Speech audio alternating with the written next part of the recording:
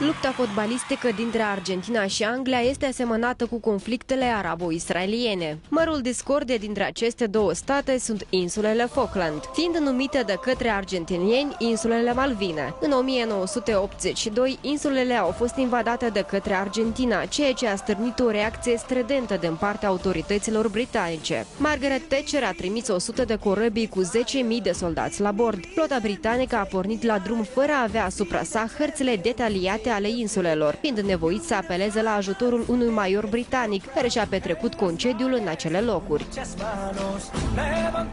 În timpul acțiunilor militare care au durat 74 de zile, au decedat circa 700 de argentinieni și 250 de soldați britanici. Acest război inutil a fost numit în ziare lupta dintre doi cheli pentru un pieptene. În iunie 1995, ministrul afacerilor interne propunea fiecărul din cei 2000 de locuitori ai insulelor Falkland să-și vândă naționalitatea pentru 800.000 de dolari. Dar lupta pe terenul de fotbal era aprigă chiar și până la acest conflict. Anume după meciul din 1966 s-a decis să se introducă cartonașele galbene și roșii. În 1986, Diego Maradona înscrie renumitul său gol cu mâna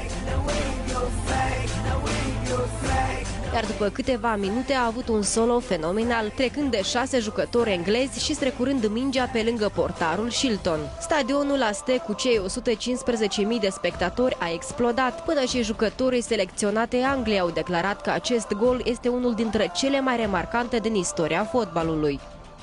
Totul a început în careul Argentinei. Enrique pasează lejer lui Maradona, iar acesta pornește cursa spre poarta engleză. Mai târziu, în vestiare, el glumea cum să nu bați după așa o pasă. La campionatul mondial din 2002, acestor două naționale le-a fost dat să se reîntâlnească. Fiecare al cincilea angajat și-a luat concediul de boală sau liber. La televizor s-au adunat toți membrii familiei regale. În acea zi, numai în capitală se înregistrase o pierdere de profit echivalat la un miliard de dolari. Experiment experimentatul Pierluigi Colina a fost numit drept arbitru al acestui meci. Singurul gol a fost înscris atunci de Beckham din penalti. Analizând grila campionatului din această vară, constatăm că Argentina și Anglia se pot întâlni în finală sau la faza optimii de finală, dacă una din ele va obține locul 2 în grupă.